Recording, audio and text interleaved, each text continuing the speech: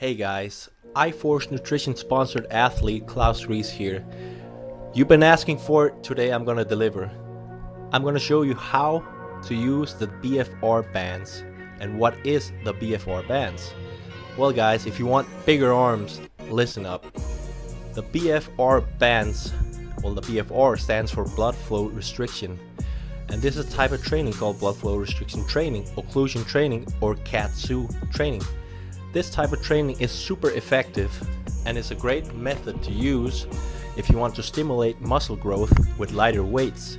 So if you're training for periods of time with heavy weights and your tendons and joints are itching or hurting, then this is a great way to go about go a little lighter for a period but still stimulating the muscle, still doing a lot of metabolic damage. I can give you some pointers on how to use them or you can see the video how I use them. I can even tailor an entire training program to use these type of bands the most effective way. Either if you use it under your arms, calves, legs, wherever you want to do some kind of stimulus for muscle growth.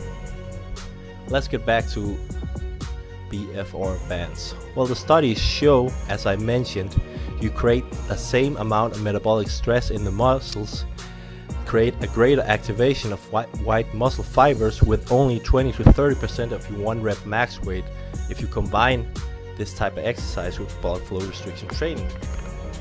As you can see here in the video, if you want to tighten the bands from a scale to 1 to 10, where 10 is the tightest, I put them about in a 5 to 7 because you don't want to restrict completely you want about 80% restriction of blood flow.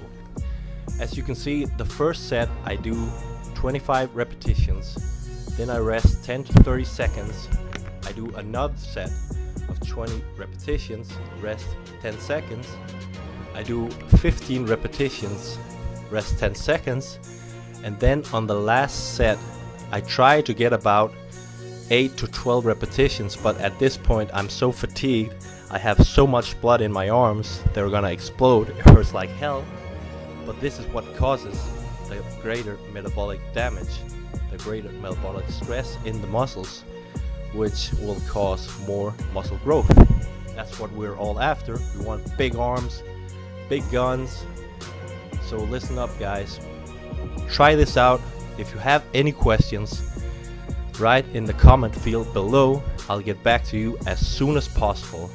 I'm gonna be putting up more videos on how to use the bands on your calves, your legs. You can even use them for chest and back training, but it's not that effective because you're not actually causing any uh, blood flow restriction on the bigger muscle groups.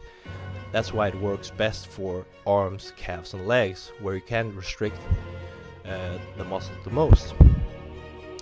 So again guys, thanks for watching the video.